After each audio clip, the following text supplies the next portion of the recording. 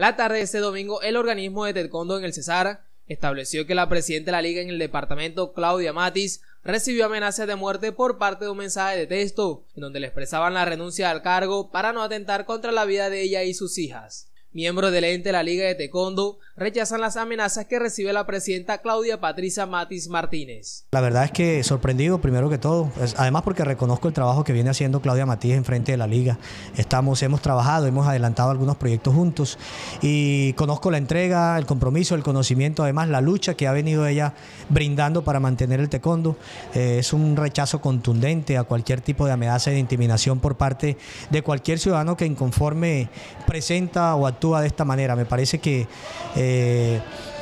hay otros mecanismos, eh, si se quiere, eh, para expresar lo que se siente. Una situación tan incómoda como esa, eh, estuvimos hablando la semana pasada de esa situación que se había presentado, eh, rechazamos obviamente este tipo de, de, actos que atentan contra dirigentes que a bien han hecho bien su tarea y que por supuesto han puesto en alto el taekwondo, que es una, un organismo deportivo que viene destacándose a nivel nacional, a nivel internacional y que gracias a la buena diligencia de la presidencia Claudia Matiz eh, se ha podido hacer bien la tarea. Bajo estas circunstancias estamos de verdad sorprendidos por esa situación tan incómoda que se presenta para ella, para su familia, pero bueno, eh, como, hemos, como lo hemos estado hablando, hay que seguir adelante con la labor, con el, el trabajo que viene desarrollando a bien, representando bien al tecondo y pues esperamos que con la bendición de Dios, para el bien de ella, de su familia,